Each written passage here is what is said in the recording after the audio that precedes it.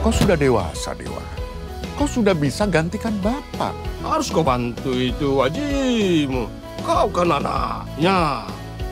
Sematan itu turun pada saya, Tuang Bos. Bang Bos, Uang bos, mau ki minum? Kopi saja. saya juga nade. Tujuh sendok gulanya. Begini gelasnya. Ade, kasih sirup nyo kau eh. Sekalian kasih selang baru ku isap langsung. Eh, di mana? Oke, eh, sebenarnya ide dasarnya adalah memang banyak eh, cerita yang lahir dari Bulukumba punya keterikatan juga di mana masyarakat Sulawesi pada umumnya adalah pelaut, Nah, mau dari Sanger, dari Palu, apalagi Bukit Makassar dengan Bulukumbanya adalah lahirnya kapal-kapal tangguh yang. Nah, itu yang kita ceritain. Ada apa di keluarga mereka? Jadi sesederhana itu. Kebetulan kita pilih premis uh, Puang Bos sendiri karena Pinisi adalah warisan dari UNESCO yang bertutur tentang bagaimana kuatnya tradisi dari sebuah kapal yang mendunia dengan kekuatan adatnya melahirkan pelaut-pelaut besar.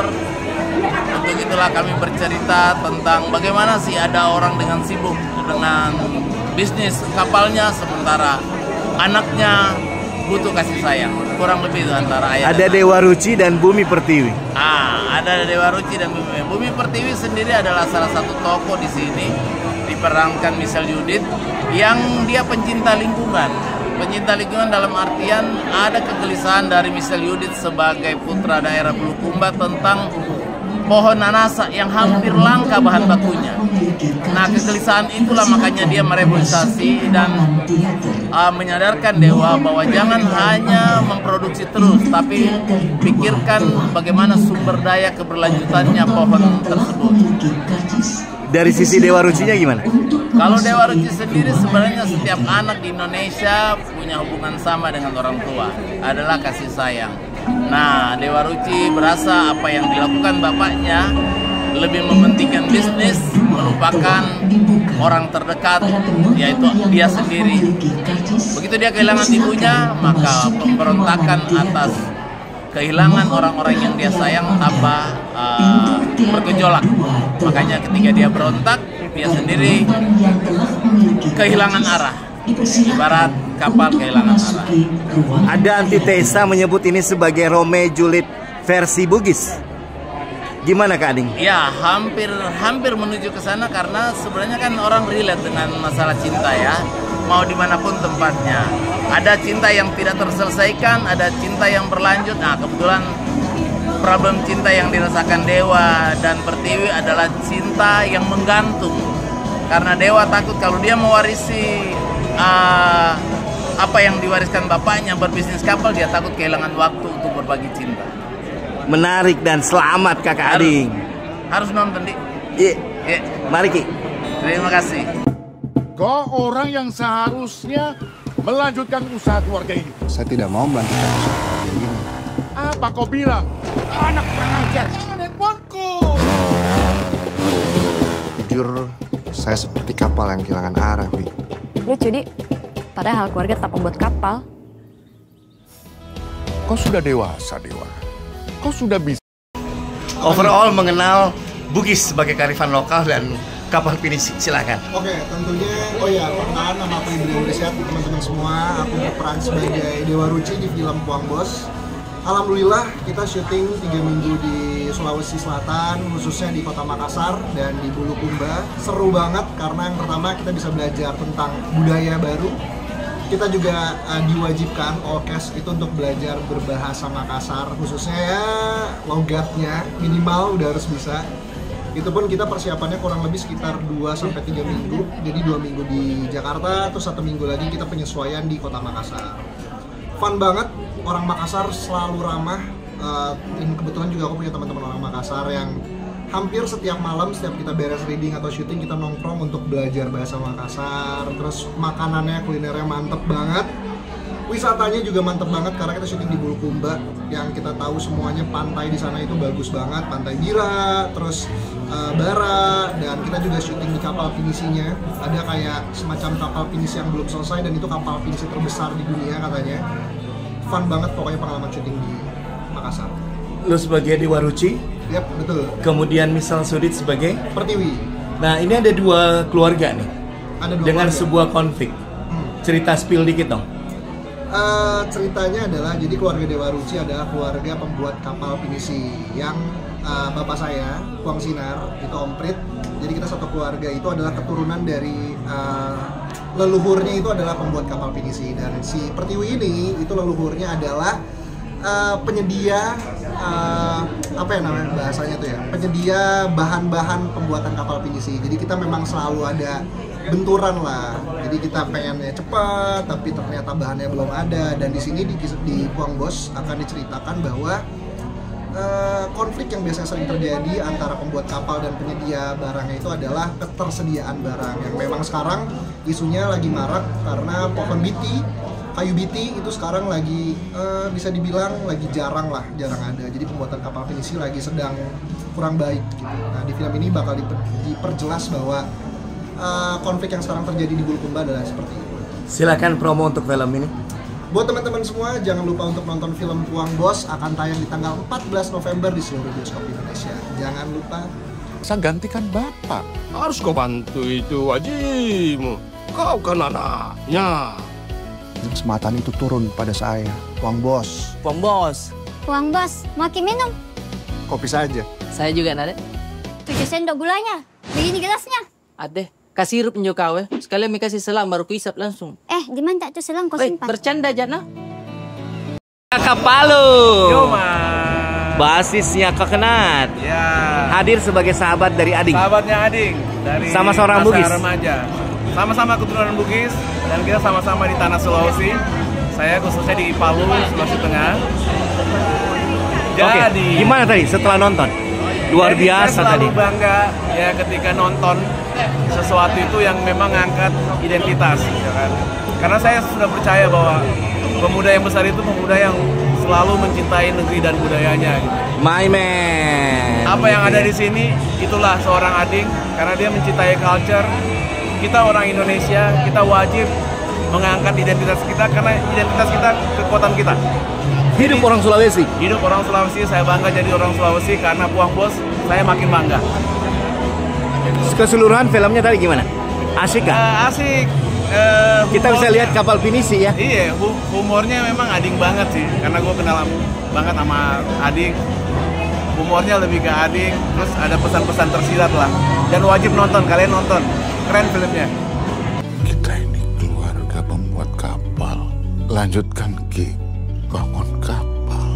Bangun keluarga. Kita tahu apa yang saya rasakan. Seperti kembali ke titik nol. saya malu ada di keluarga ini. Malu kak. Biarkan Dewa belajar bagaimana dia jalani hidupnya sendiri. Kan laki-laki nama. Pak,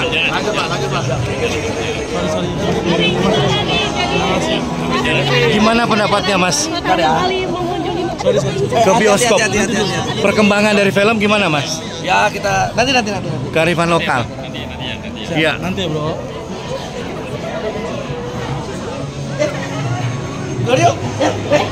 Oke, Leho. Aku cuma bilang. Hai. Sorry sorry. Iya. Ada mas. Iya Mas.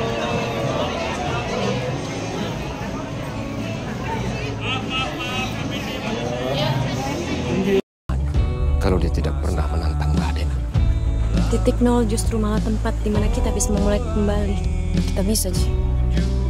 Mulai dari awal. Dipegangin kepala anak. Nggak bisa tidur kodong. Kita sudah harus tahu ke mana arah yang kita tuju. Berlayar tanpa ragu dari titik ini.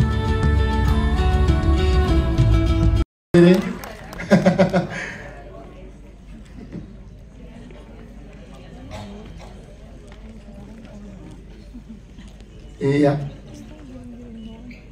Siap.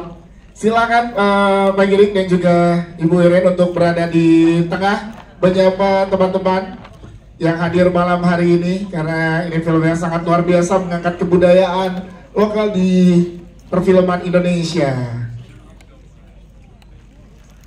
Silakan dimulai dari Wakil Menteri Kebudayaan Bapak Giring Oh, Indonesia. saya duluan. Yes, silakan. Ladies first. Oke, boleh. Ladiesnya lagi ngunyah popcorn, silakan Pak Giring yang nyampe dulu.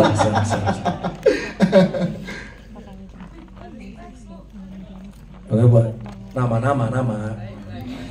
Bismillahirrahmanirrahim. Assalamualaikum warahmatullahi wabarakatuh. Shalom. Om Swastiastu, Namo Buddhaya, salam kebajikan, rahayu rahayu. Yang terhormat dan juga yang congratulations film pertamanya nih CEO dan Privy, executive producer Pak Marshall pribadi, congratulations. Pasti lagi deg-degan karena film pertamanya ya kan? Dan juga nih sahabat seperjuangan saya karena banyak sekali di uh, Kementerian Ekonomi Kreatif dan Kementerian Kebudayaan tuh banyak sekali irisannya termasuk di film. Tepuk tangan buat Ibu Irin Umar boleh Ibu Irin congratulations. Dalam kurungnya dalam perjalanan. Oh udah nyampe katanya buat Bapak PJ Gubernur lagi perjalanan ya? Lagi perjalanan. Oh ini perjalanan beneran berarti ya. Anggota DPR perjalanan juga. Oke semuanya. Sekjen Kerukunan Keluarga Sulawesi Selatan Pak Abdul Karim. Ada?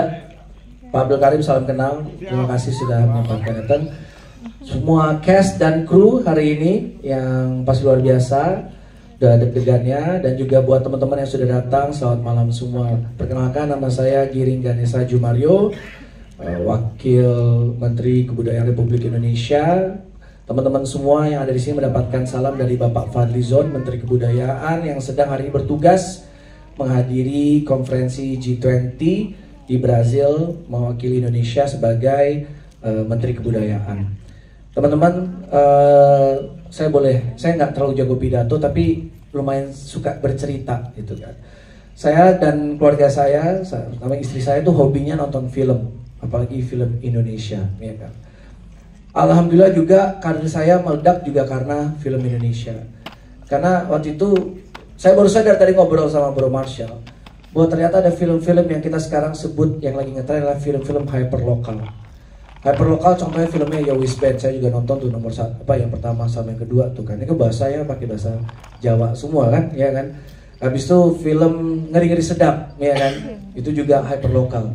Terus tadi Bro Marshall ngingetin eh Pak Wamen Laskar Pelangi kan juga hyperlokal. Oh iya ya saya baru sadar gitu. Mungkin karena karena saya sudah involved di film Laskar Pelangi jadi saya baru sadar bahwa ternyata Laskar Pelangi ada film yang hyperlokal juga. Apa sih film hyperlokal Film hyperlokal adalah film yang benar-benar uh, fokus ke suatu kebudayaan yang di, ada di Indonesia. Nah, saya harap juga film Puang Bos ini juga akan menjadi film yang berdampak apalagi ke Bulukumba juga. Karena jelas-jelas ini film yang tadi saya dijelasin sama Pak Sutradara, apa itu artinya Puang Bos itu apa? Itu ternyata istilah istilah ya, istilah di saudara-saudara kita di Bugis ya, kayak siap bos gitu ya kayak gitu ya istilahnya kayak gitu. Jadi itu berarti kan hyperlokal banget. Jadi mudah-mudahan film ini juga menjadi salah satu film tersukses juga di Indonesia di tahun ini. Amin. karena karena alhamdulillah teman-teman terima kasih selalu mendukung film Indonesia. Karena film Indonesia tahun ini tahun ini aja per hari ini sudah membuat rekor bahwa tahun ini adalah penonton terbanyak dari seluruh tahun semenjak negara ini berdiri. Tahun itu adalah terbanyak dan semoga salah satunya adalah Uang Bos. Dan mudah-mudahan juga abis ini film ini dapat mengangkat budaya dan juga mengangkat pariwisata Bulukumba Amin. Sulawesi. Dari Tanah Beru sampai Tanjung Bira. Cuma Pertiwi yang cocok untuk Pombosku. Perasaan itu tidak bisa dipaksakan. Harus upgrade dirimu. Karena itu semua penting untuk klien. Kau juga Yudis, upgrade lah dirimu. Kalau saya sudah gagah. Cuma haus.